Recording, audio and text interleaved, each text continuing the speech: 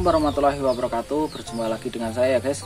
Dan pada kesempatan yang sangat berbahagia ini eh, Karena kemarin saya sudah cek-cek triguna saya Dan Alhamdulillah madunya sudah terisi. Dan pada hari ini saya ingin memanennya Yaitu satu stup triguna levisep yang akan saya panen. Oke langsung saja kita panen ya guys. Oke guys kita akan uh, menuju trigona ya guys Nah, di sini ini ada adalah setup yang akan kita panen, maka kita akan geser dulu ya agar tidak terjadi perang nanti ya. Dan kita akan taruh setup yang kosong ya. Yang ini ini adalah setup kosong tujuannya agar nanti apabila ada lebah yang tadinya rumahnya ini agar mereka masuk ke sini agar tidak banyak berhamburan berhamburan ya guys Oke langsung saja kita pindahkan dulu setupnya ke sini. Nah, biar tidak perang dunia ya guys. Karena biasanya kalau kita panen di dekat setup yang lainnya itu dekat setup triguna yang lain akan terjadi perang dunia. Oke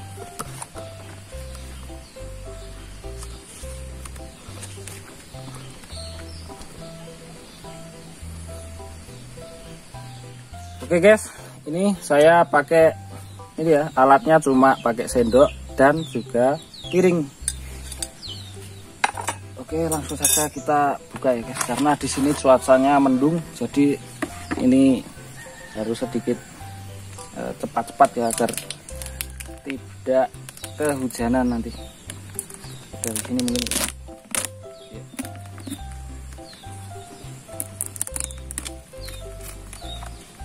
ini dia guys dalamnya.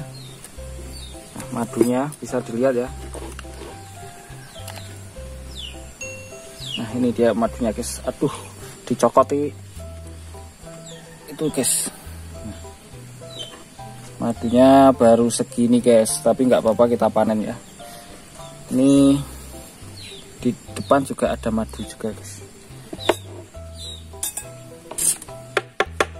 seperti biasa kita ketok-ketok dulu ya guys. Tujuannya agar uh, koloninya terbang agar tidak banyak yang mati ya guys.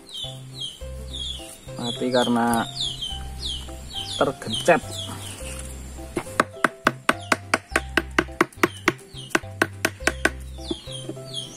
Dan bila memanen kita harus memastikan sang ratu ya guys. Usahakan sang ratunya tidak berada di dalam uh, tumpukan madu seperti ini ya guys usahakan uh, sang ratu berada di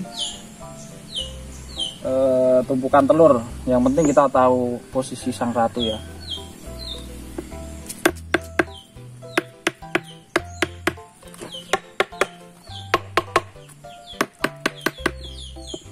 Tuh ini saya dicokoti digigit-gigit sama sang triguna ya guys.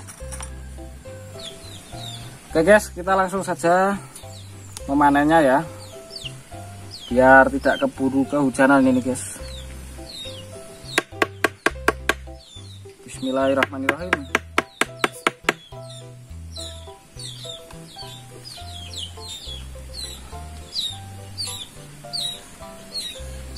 harusnya ini pakai ini ya guys pakai uh, pakai pisau ya yang enak ya. Mereka sudah ngumpulin berbulan-bulan ini. Dan kita ambil begitu saja kasihan sekali ya guys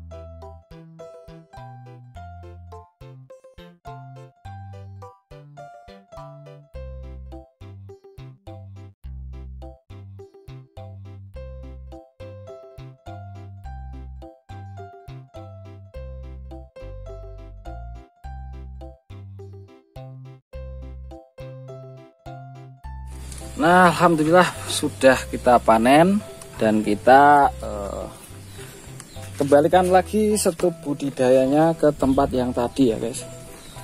Nah, kita kembalikan ke tempat awal yaitu di sini ya.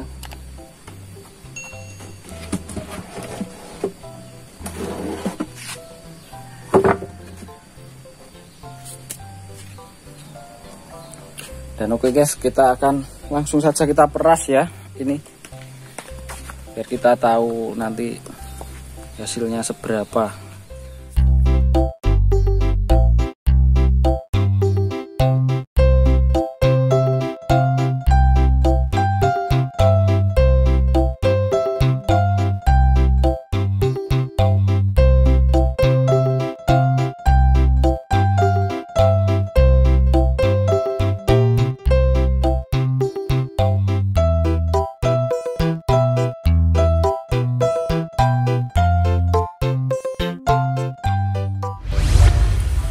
guys, itulah tadi proses saya panen e, madu lebah trigona ya guys. Dan ini dapat e, ini satu gelas ini antara 200 mili ya guys. Jadi ini kemungkinan mendapat 100 mili ya, setengah gelas lebih sedikit. Ya mungkin 120 mili nih segini guys. Nah, mantep, ini satu setup dapat sekitar 120 mili. Dan juga eh, ini bekas propolis bekas panen yang tadi. Kita kita bisa menggunakannya sebagai pakan lebah trigona ya guys. Nah seperti ini mereka akan punguti kembali eh, madu-madu eh, yang tercecer ini yang masih tersisa. Akan diambil kembali untuk dibawa masuk ke kotak budidaya. Jadi ini tidak akan saya buang ya. Seperti itu. Oke, semoga konten kali ini menghibur ya guys atau menginspirasi dan semoga konten kali ini bermanfaat. Dan jangan lupa subscribe bagi Anda yang baru berkunjung ke channel saya ini dan eh, bagi yang sudah subscribe channel saya atau mendukung channel ini agar semakin berkembang. Saya ucapkan terima kasih banyak dan sampai jumpa di video berikutnya. Wassalamualaikum warahmatullahi wabarakatuh.